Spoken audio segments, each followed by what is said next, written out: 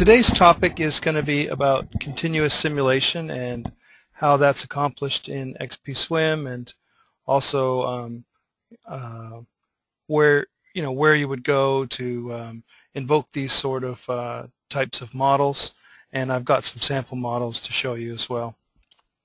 So I, I hope that you find today's uh, webinar informative and useful in your modeling efforts.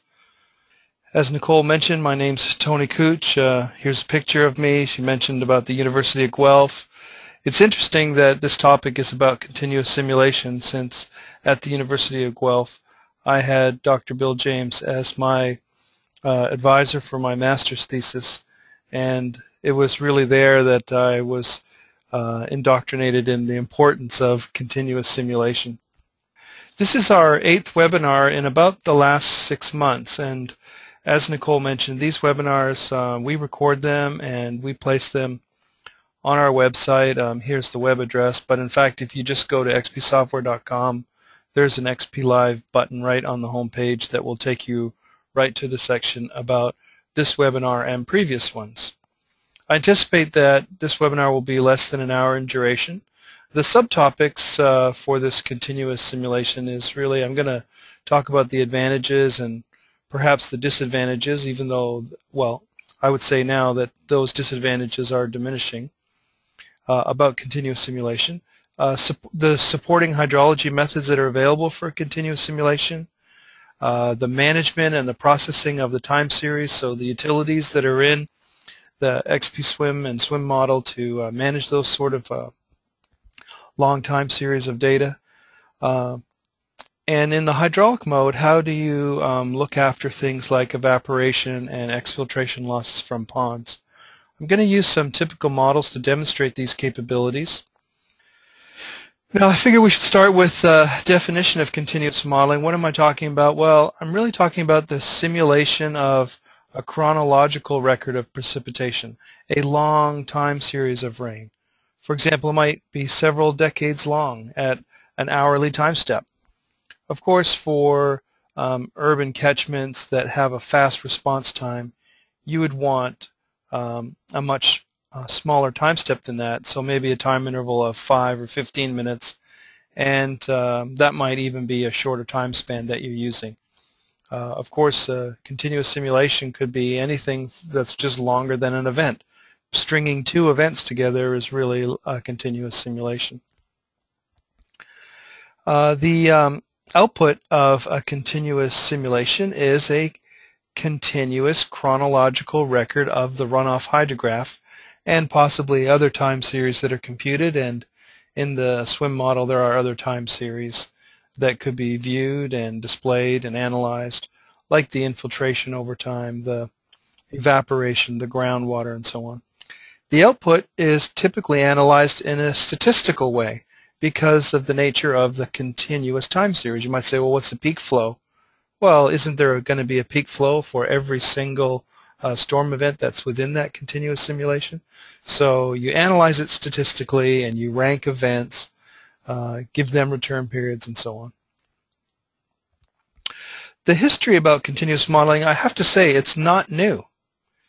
The first model I'm aware of is the Stanford Watershed Model in 1966. Uh, the SWMM model, of which XPSWMM is derived, uh, 1971, and HSPF in 1980. These are all, uh, well, the last two anyway, are currently in use as continuous simulation models. Uh, so it's not a new um, science or a new capability. However, it is newly being uh, adopted throughout uh, the country for stormwater management. In the SWMM model, the continuous modeling can be performed on both hydrology and hydraulics, so within the runoff mode and within the hydraulics mode. We're going to do continuous modeling on the rainfall runoff calculations. So this is going to be inclusive of infiltration and evaporation uh, throughout the simulation. Uh, groundwater is optional, but you know that's the capability that's there. You could simulate with the groundwater and the groundwater surface interaction. For example, with the water table rising to the ground surface, you could cut off the infiltration rate. Snowmelt and the accumulation of snow in the snowpack. Uh, this is a capability that can be simulated in the SWMM model on a continuous basis. The water quality buildup, so the buildup of pollutants on the catchment and then their wash off. And some of the wash off uh, formulations that you can use are going to be based on how much pollutants are available. So during dry periods, pollutants build up on the catchment, and so when there's a, a new runoff event, then you could have like a first flush of pollutants because there's been a long dry period where pollutants have built up. The scour and deposition of pollutants in conduits based on the velocity in a conduit is something that works well in a continuous simulation. Uh, pollutant removal in treatment devices, so if you're simulating LID or other BMPs that are removing pollutants, this can be done on a continuous simulation. And then finally, uh, the fully dynamic routing of flows and pollutants. With the exception of this last one, these other things are actually computed quite fast but the fully dynamic routing is a little bit slower. There's a lot more computational effort that's needed there, and so that takes a little bit longer on the computer, and I would say it's quite frequent to do a continuous simulation of everything up to that point and then pick um, specific events to simulate for the hydraulics. We're talking about modeling the complete or at least uh, most of the hydrologic cycle for the catchment. Uh, most stormwater controls, for example, like LID, regional detention, retention facilities, they rely on evapotranspiration and infiltration. This is um, the you know a motivator for doing the continuous modeling. It's important, for example, in predicting what the um, runoff hydrograph will be, is to what's the state of the um, retention detention facilities? Are they empty? Are they half full and so on? When was the last storm? What's the soil condition like? The advantages of continuous simulations include uh, obviously the antecedent moisture. The program is going to determine what this condition is with the start of each storm. Basically, a continuous simulation removes that engineering judgment of the selection of the antecedent moisture you're basically simulating a water balance. So it's a complete description of what's happening. The evaporation, the infiltration, the depression storage, in the continuous model, there's code uh, to simulate each of these processes. So it's a complete uh, simulation that's um, being done. During the dry period, sometimes people have referred to this as the non-event, you're going to be able to um, recover infiltration capacity and uh, surface storage where water is stored on the surface and, and not running off.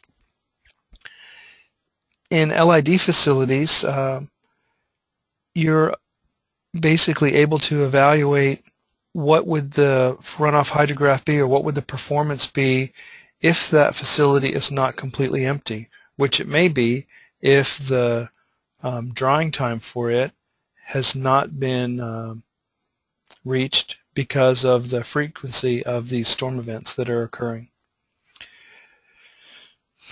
There's uh, great statistics that continuous simulations can generate. You actually can generate the true return period for the runoff event because it's a false assumption to say that design storm of a certain return period causes a flooding event of a certain ret return period. That's rarely met because it's really dependent on the moisture and any um, water that's already stored within the network or on the ground and so on. So you use the statistics of the output time series directly from a continuous simulation model. It uses real rainfall time series. So, you know, there's another assumption that a design storm is representative of the storms. That's not true. You're going to be able to get the true pattern, uh, you know, a real variety of rainfall patterns are going to be found on the continuous record. It's the intensity of the rain that is the number one thing in generating the shape of the hydrograph. So by using a real rainfall time series, the intensities throughout that time series are going to be giving you hydrograph shapes that are representative of how the catchment is performing for that rain record. You can simulate groundwater. So the inclusion of groundwater and the surface water interaction is very important, especially in places with shallow groundwater tables uh, and in order to simulate a, a, seasonal response. Perhaps like during a wet season, the groundwater table rises to the surface and it's cutting off infiltration. This is easily simulated in a continuous simulation model. Most of the losses for evapotranspiration and infiltration occur between rainfall events. So in a continuous model then, you're able to get a good estimate of that part of the uh, hydrologic cycle. So the water budget, the you know the percent that's evaporated, the total percentage of runoff, and so on. You know, think about a pie chart, all the water input, and then where where are all the sinks for it. I've made a little note here.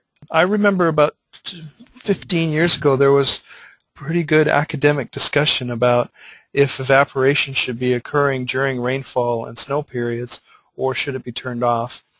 We thought that we should give that option to the users and in XPSWMM if you use a configuration parameter called SVAP, SVAP, then it will turn off evaporation during the rainfall.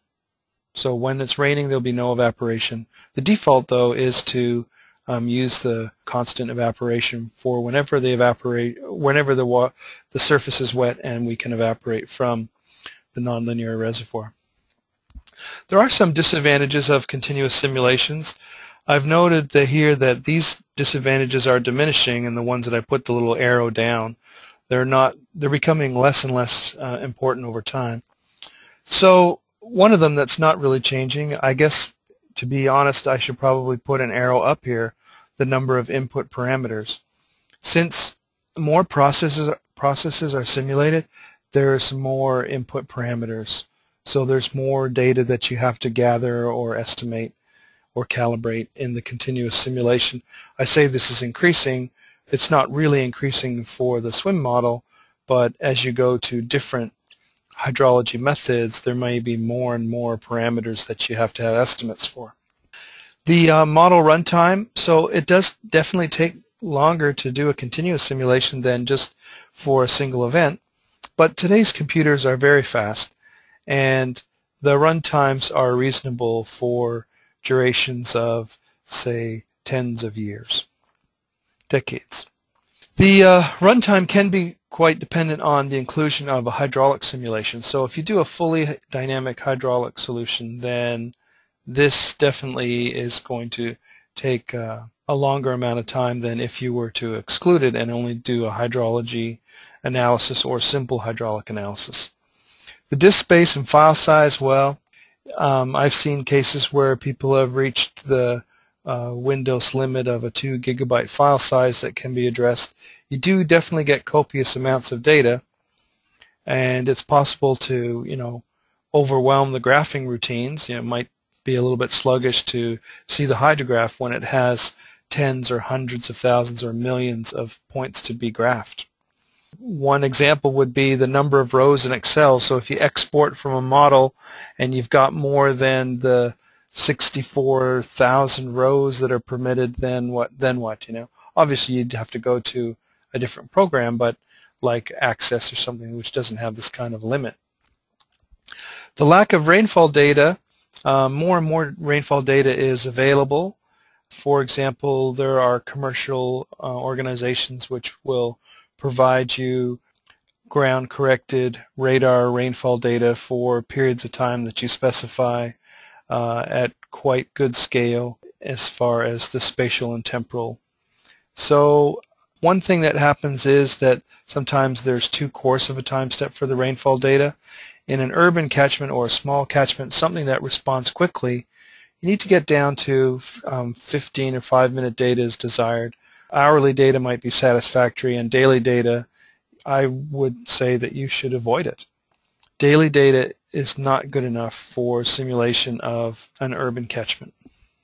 The applications of continuous simulations, well, the design analysis of LID, which I've talked a little about, the simulation on how effective is my detention retention facilities. You know, how are they performing when I put a typical wet year or when I do the last 10 years? How are they, how are they performing?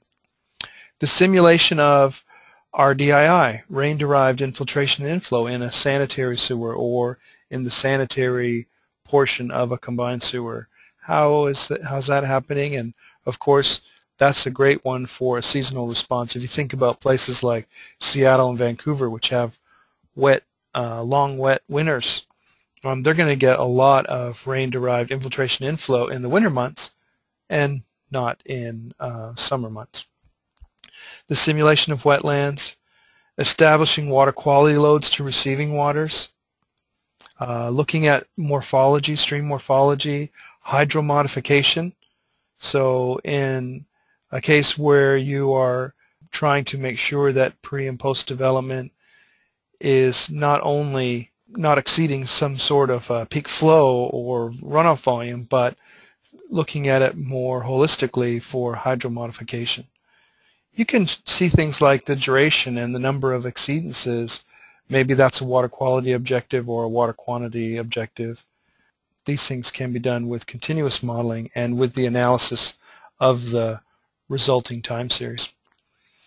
The hydrology methods that are in XPSWMM, which are which can hand, or which can simulate continuous simulation with good description, include what we call the runoff method, the nonlinear reservoir, the same method in EPA SWMM, kinematic wave method, uh, method. This Laurenson method is a hydrology method from Australia and the time area method, although this one does have limited catchment description.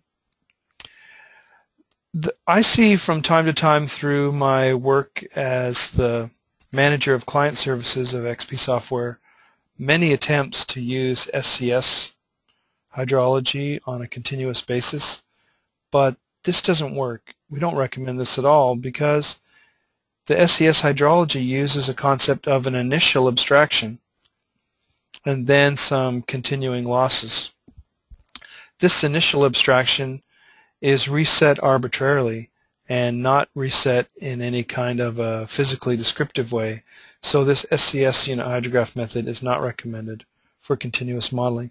However, I should draw your attention to that there are two configuration parameters to uh, allow a continuous uh, simulation of it, SCS CONT for SCS continuous, and SCS dir equals x, where you enter for x the number of days to suppress the um, initial abstraction. So perhaps if you wanted to do like a 10-day or two-week uh, wet period with SCS hydrology and you didn't want the initial abstraction to arbitrarily reset on you, you could suppress it using these two configuration parameters. For example, SCS dir equals 10 so that there would be no initial abstraction reset for the 10 days. The um, nonlinear reservoir, the EPA SWMM runoff method, this is a conceptual visualization of it where we have the inputs of precipitation and snowmelt would be like an equivalent precipitation coming to this uh, reservoir here.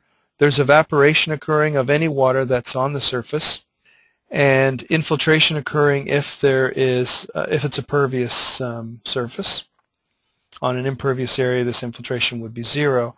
And we get an, a net accumulation of a depth on the surface. And once the depth is gone beyond what we call DS depression storage, then we compute the flow with this, basically a form of Manning's equation. It's called nonlinear reservoir because it's D minus DS raised to the 5 thirds. This W is the subcatchment width. So this is being continually evaluated. So in a continuous model, let's say we get to the point where the precipitation is um, less than the infiltration rate, then this depth is going to diminish and eventually it will be less than ds and the runoff hydrograph will cease. The water that's in here is going to be evaporated until it becomes dry. This is continually evaluated. The infiltration now that's occurring, there are um, four choices uh, in the XPSWMM for modeling infiltration. We recommend the Green-Ampt because this is a physically based infiltration method that's being satisfactory. It uses a recovery parameter, which I'll show you in just a moment, in order to um, in order to get back the infiltration rate after a storm event. uniform loss and SCS curve number. We don't recommend these for continuous simulation since they're basically going to give you constant losses and not losses reflective of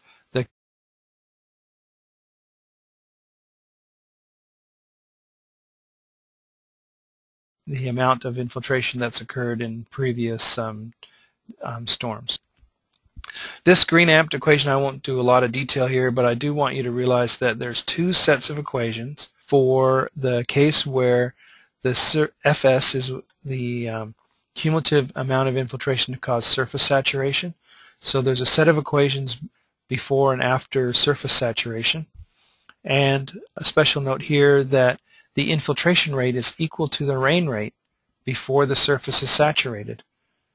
And once that happens, then we start evaluating it. And you'll notice that the cumulative infiltration is uh, going to be um, evaluated using parameters that are physically descriptive of the soil.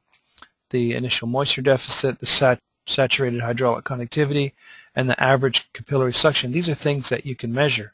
We say it's deterministic. The Horton method is not deterministic. Um, this is why it's just satisfactory for a continuous simulation. It is starts out at an initial rate and decays to uh, ultimate or final infiltration rate. That final infiltration rate is usually equal to or, or related to the hydraulic conductivity and in the equation you'll notice it only decays over time.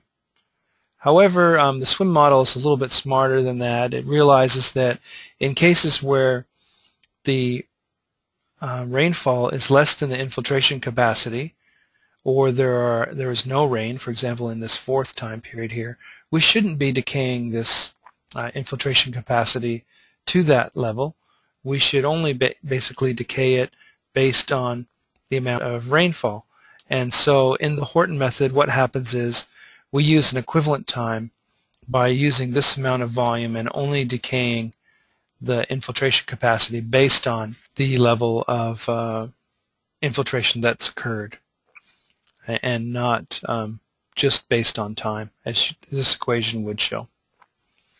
Now the um, SWMM model does regenerate the Horton infiltration and there's a parameter here in the job control so you must check regeneration of Horton infiltration capacity if you're doing a continuous simulation so that after a, a long enough dry period you're going to get back the infiltration capacity. It will go again back up to the um, maximum capacity, for example, if there's been a long enough dry period. The groundwater um, capability in SWMM model, it's a two-compartment groundwater model that simulates the mounding. So basically we're talking about the rise and fall of this groundwater table.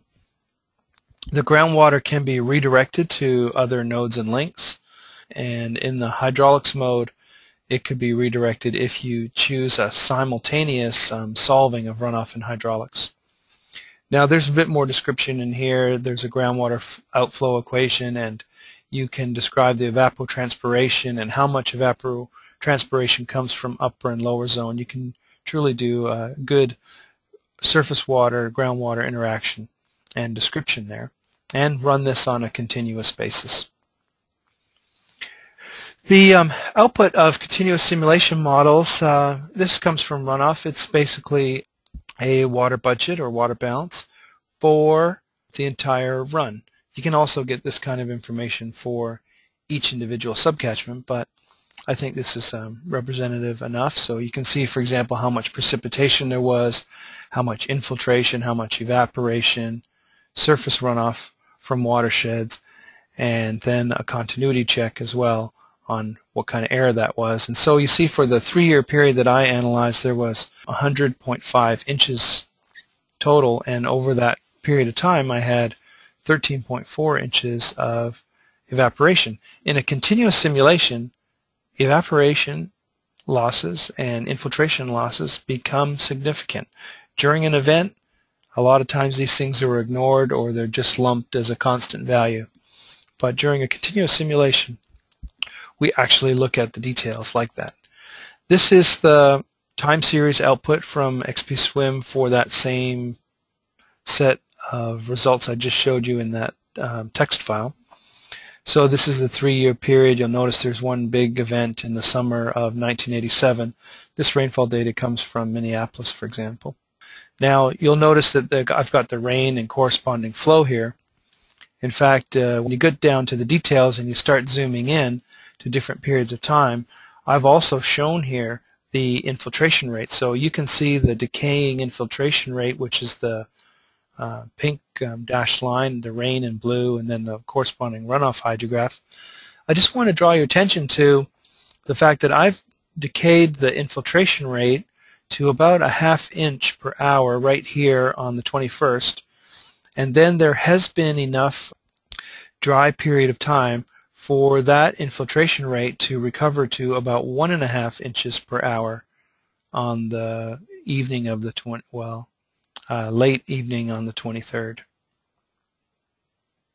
So you can see um, what's happening in the continuous model by especially looking at rain and infiltration uh, over time like that and, and drilling down into the time series like I've done. This is just a zoom in from the uh, graph before.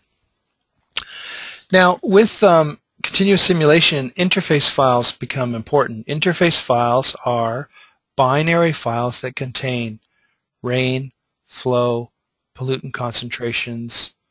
Um, I think that's all that's on them. Um, they're binary, they're very compact, so they don't take up a lot of size, and they allow the different parts of the SWMM model to talk to each other.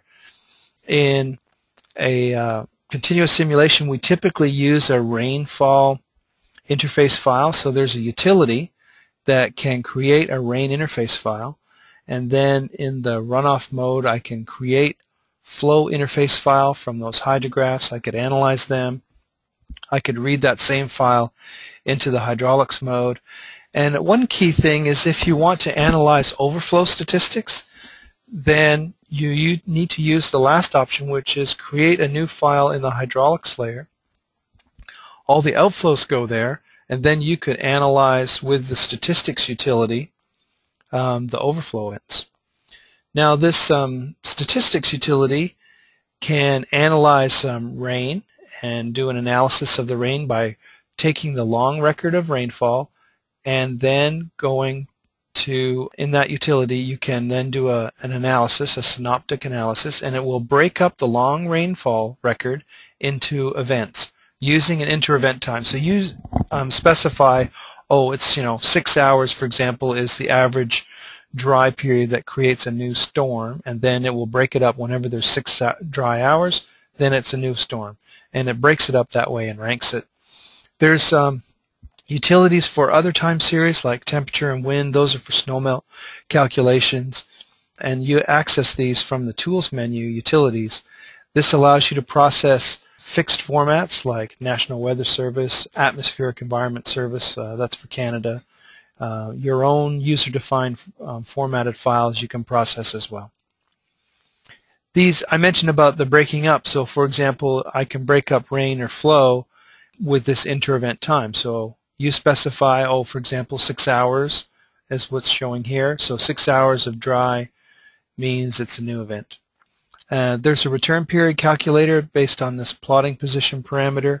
It will typically give you a return period uh, about two times longer than the time series, but you can make an adjustment in the value of A, and of course you could um, take the results and you could fit them to uh, like a log Pearson uh, distribution and then um, generate your own uh, return period statistics, but it does do a, a simple estimate of return period. And you can choose what you analyze for. In this case, for the rain, I'm going to analyze depth, intensity, storm duration, and inter-event duration. On the statistical side for flow, you can analyze for total flow, average flow, peak, event duration, and inter-event duration. Inter-event duration means dry period. And I've checked that I'm going to get a table of these things and the statistical moments. The moments are things like standard deviation, coefficient of variation, skewness, those sort of things. So those are called statistical moments. These um, tables look like this. I've just took a little snippet of it and you can see the um, I'm looking at total flow. So this is the event with the largest total flow. It has a return period of 5.33 years. Uh, the next biggest one is a two-year and so on. And so you can see it gives also a percent greater than as it's taken the long series and broken it up. In the hydraulics mode, it's important that you understand uh, about this evaporation. There's a lot of confusion I see with users about evaporation because they know in the runoff mode they've checked and they've included evaporation to be calculated. So this is the evaporation of the water that's on the surface as it's running off. Then once it's run off and it becomes in, it goes into a hydraulic network like into links and nodes, it might end up in say a storage node like a pond or a lake if you want to be able to evaporate from there, see normally this is just ignored because you simulate an event, but in a continuous model, that um, water that's standing in storage devices should be allowed to be able to evaporate, and of course physically does evaporate. And so in order to do that, you use a configuration parameter called HDR underscore evap, meaning hydraulics mode evaporation, and then you click on the evaporation here and you enter the values that you want to use. And of course, I've put these are so many inches as monthly values. But it is important to do both things. It's not enough just to click evaporation and put in data.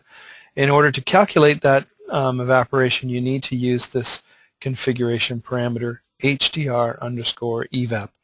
Otherwise, this data is actually used only for without the parameter. It would only be used for storage treatment devices. In the hydraulics mode, if you want to simulate infiltration or exfiltration, losses from ponds, for example, into the ground, you have a couple of choices. That One would be to use a negative constant inflow or a negative user inflow hydrograph. I'm not sure if you're aware, but you can put a negative number for your hydrographs, and that is just a withdrawal from the model.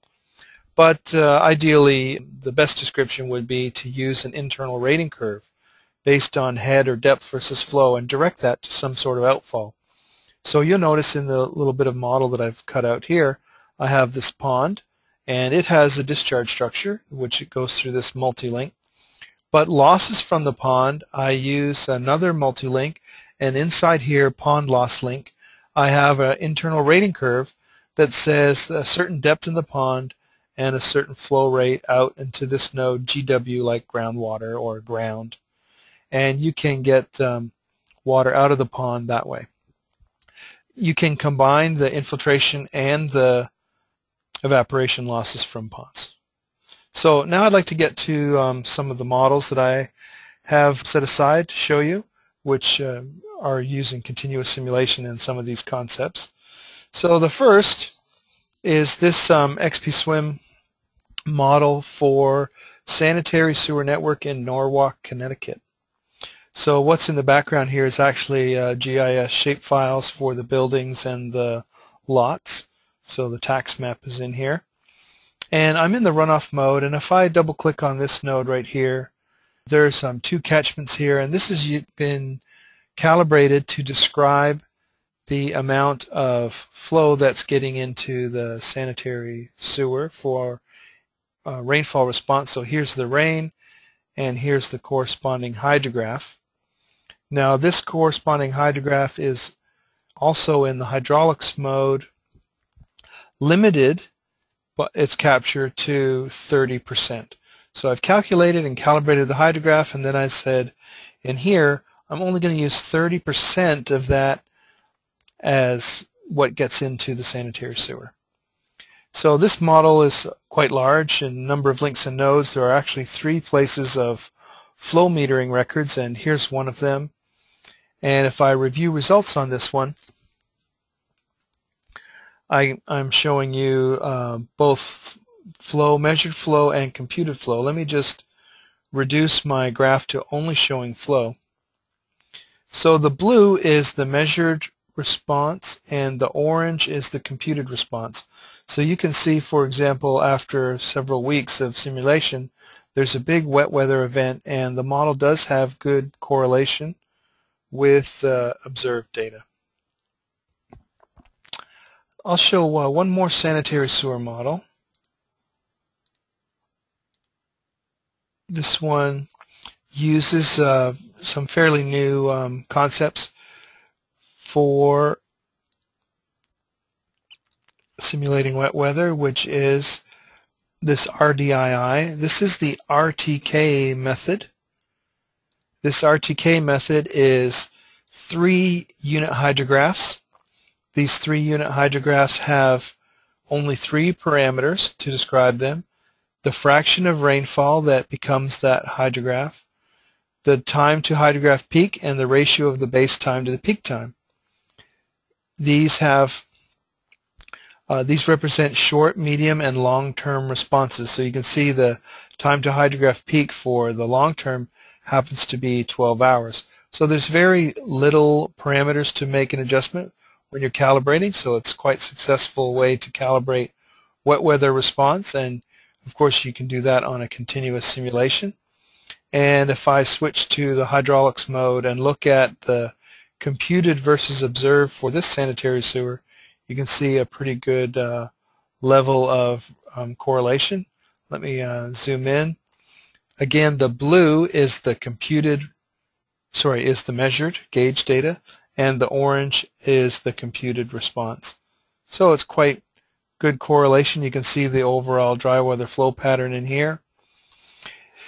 The um, spikes that you see in the measured flow and of course in the computed flow as well are all related to an upstream pump station. So there's a pump station up here and there's lots of pump start and stops which are causing the slugs of flow to be seen in the network.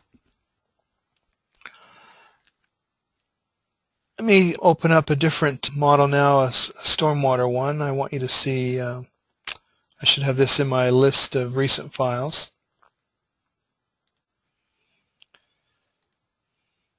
In this one, this is where, um, and it's in this model that I've done the continuous simulation of the pond losses. So if I um, double click on this link for pond loss, Here's my, in the special category or column, I've got internal rating curve. And the internal rating curve I have here is a depth in the pond versus flow out of the pond, you know, like flow into the ground.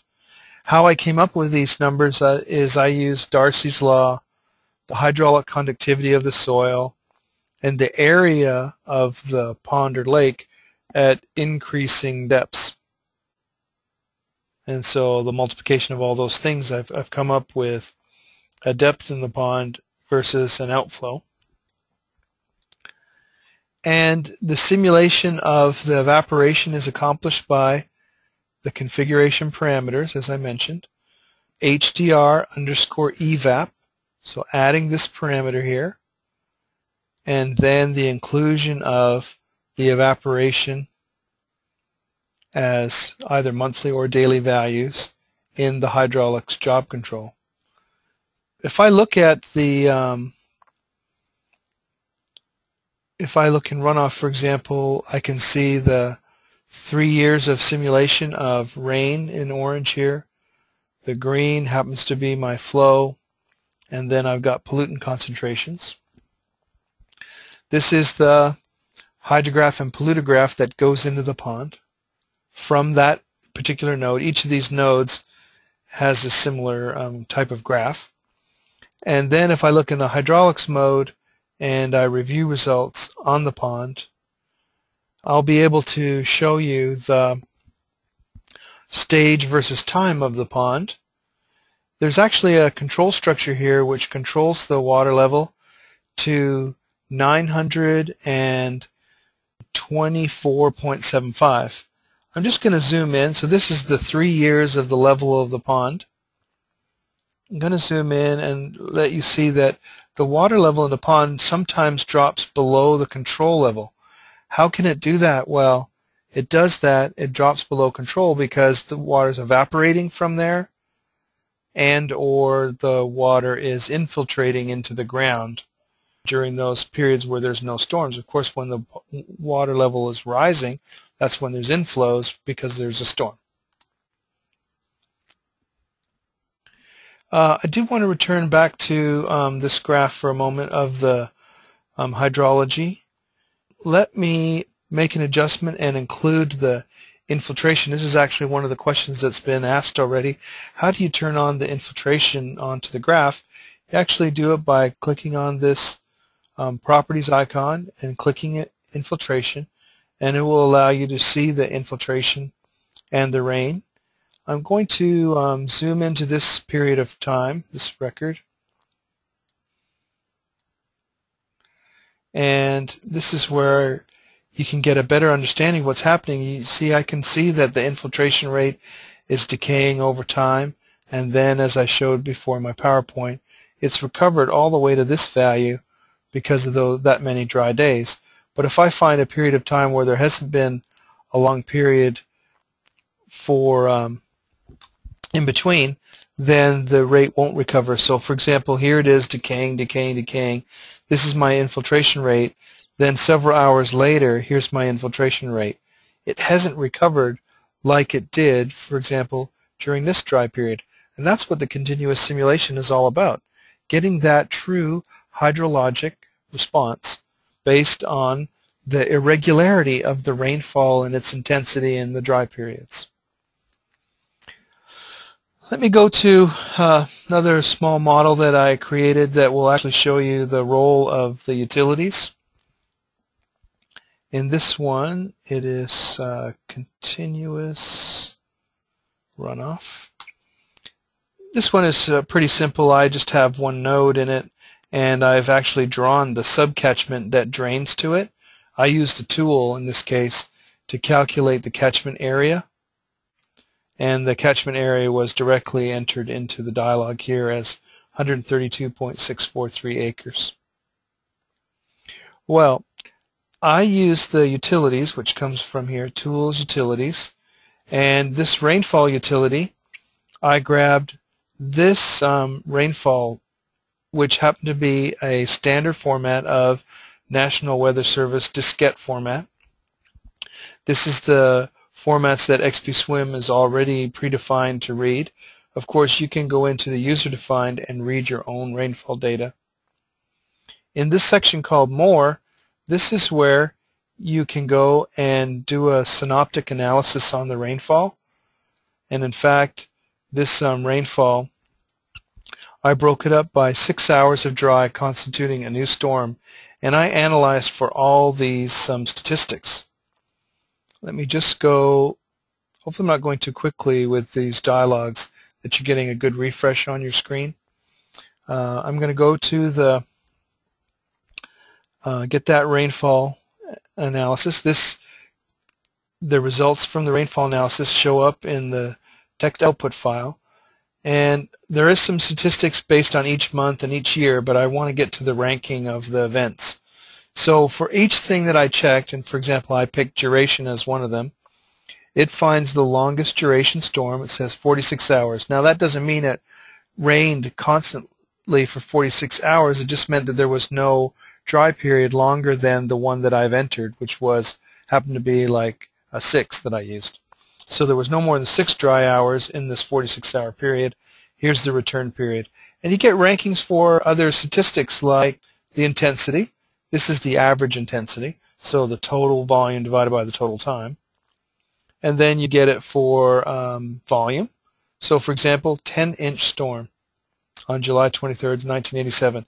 This is um, National Weather Service real data from Minneapolis. Imagine 10 inches. In fact, this was a pretty short time frame too. I think it was only about 18 hours of time. This is more than the 100-year event for Minneapolis.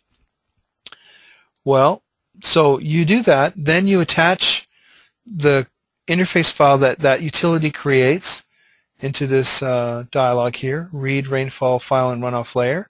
So I've got the interface file attached.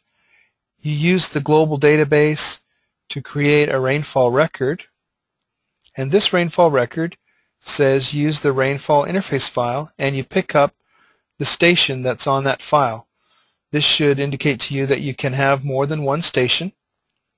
Uh, so if you have a large area, you could put three, four, five, six, seven, ten stations on it, and then pick up the appropriate one that you want for a given catchment, allowing you to model storms that move across the subcatchment. Then after having solved and, and run this, of course I can show you the results if you like. Here's the time series again, three years of rain data and corresponding flows. You might want to analyze the flow based on or using the statistics utility. So in my statistics utility, I'm analyzing for flow, and I've turned on that I want to look at total flow, average flow, peak, event duration, inter-event, and I want to get those moments. So of course this is something that I mentioned in the PowerPoint.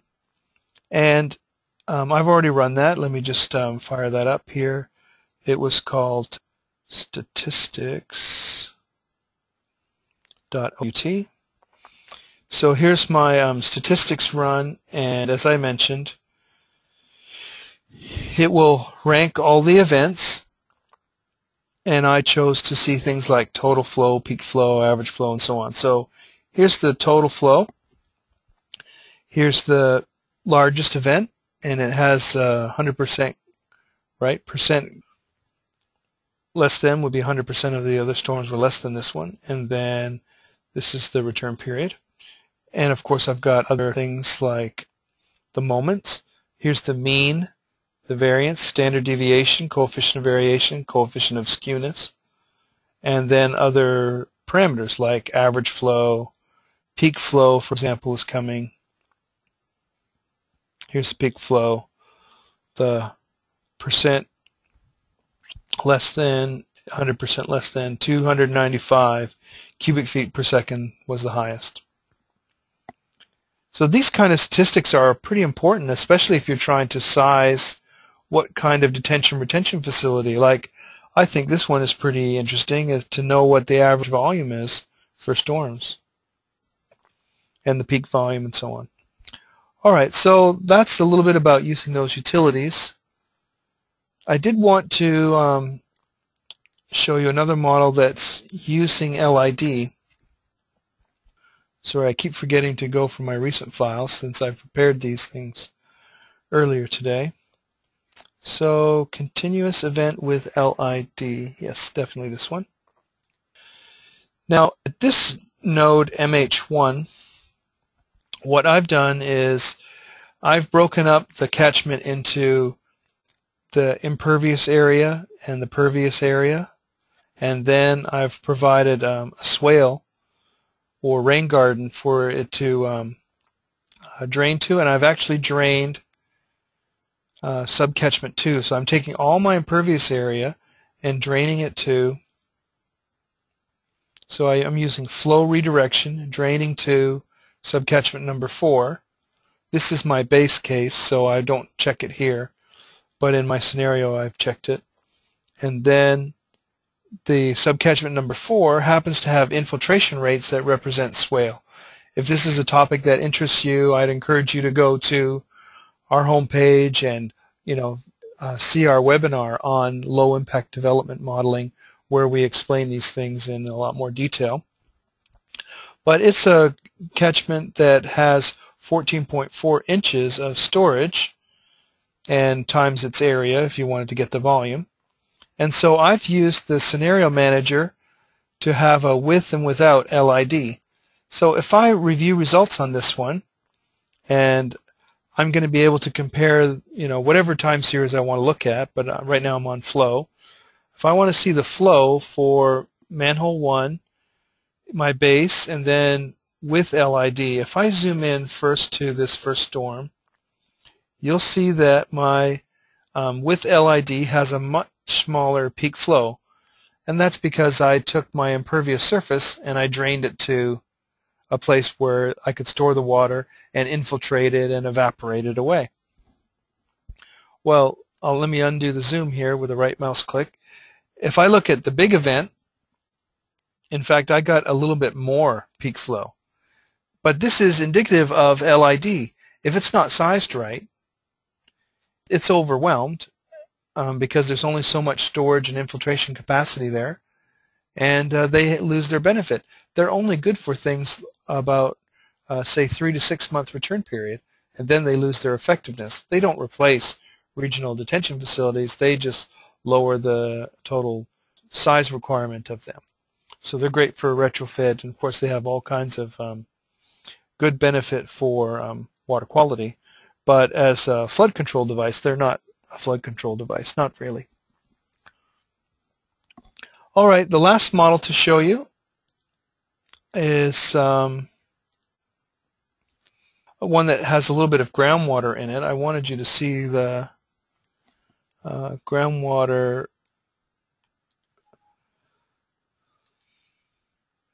So if I double click on this node GW, it has this catchment, this rain and infiltration, and they notice that the groundwater is optional.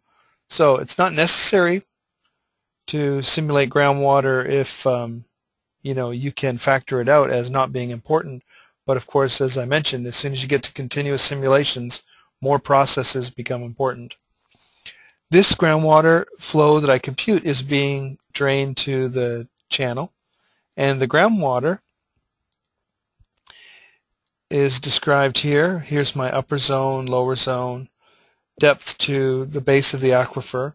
My groundwater outflow is this equation, which uh, has lots of terms in it, but the way that I've implemented it in this example with uh, ones and zeros and strategic coefficients and exponents, it's been reduced to a simple linear reservoir, meaning that the groundwater flow per acre is a1, which is 0.005 CFS times D1 minus B0, D1 minus B0, so the height of the water table over the boundary, raised to the 1, so it's a linear reservoir. 0.005 cubic feet per second per acre per foot of head difference. Quite simple. But this equation can be used to model more complex groundwater equations like Dupuit-Forchheimer Hooghoudt's equation by putting in appropriate values. So the, there's an infiltration and percolation description here. So there's parameters to model the movement of the soil from the upper and lower zones. And then there's evapotranspiration where, this is one of my favorite pictures in the dialogues, where we can um, say how much ET is occurring from the upper and lower zone and what's the wilting point and field capacity of the soil. So with that groundwater, I've already solved this one, so I think I can just sh show you the review results. I've clicked on review results here. Like infiltration, if I want to see groundwater flow, I simply click on this um, properties icon and I include it because it's not there by default. I include to see groundwater series and those are part of the hydrology flows so this line that I'm sort of tracing now with the mouse is the groundwater flow over time. This is only three days of simulation. I guess you, we could argue that that's not continuous simulation, but uh, of course if you had a continuous time series you would see the groundwater flows um, contributing and not contributing uh, depending on the uh, where the water table is compared to that boundary condition. So I I think that's uh, all the material that I had to present. I think I do have maybe one more PowerPoint. Probably just says, uh, do you have any questions? so again, thanks for your time and thanks.